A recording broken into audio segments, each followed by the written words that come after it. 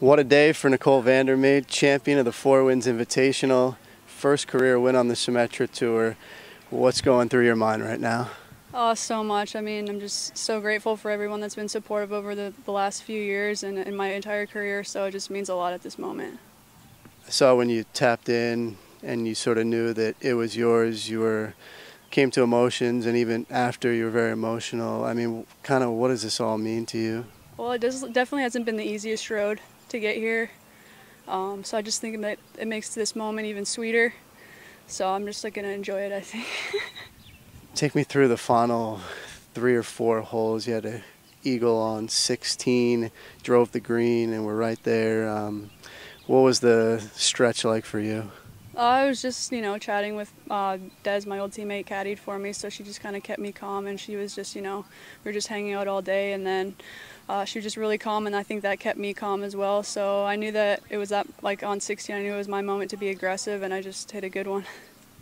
And then 17 and 18 take us down the stretch.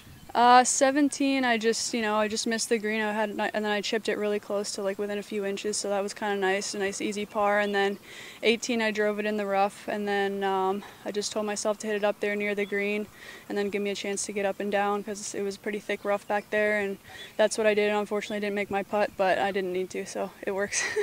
Nicole, obviously, money and the money list very important on the Symetra Tour. Trying to get your card, and this win is going to push you uh, inside that top 10. What does that mean?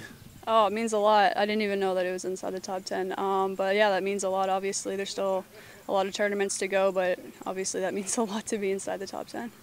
And then finally, what does it say about Texas and the Longhorns? Madison Pressel last week, Nicole Vandermade this week. Uh, I'm sure you're feeling some Texas pride right now. Oh, for sure. I mean, Texas is known for their pride, so it's definitely a huge moment. I know that was a big moment for her, and it's a big moment for me too. And it's kind of nice that we could like share it together.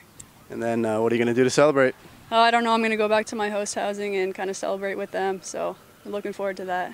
All right, great job. Congratulations. Thank you very much.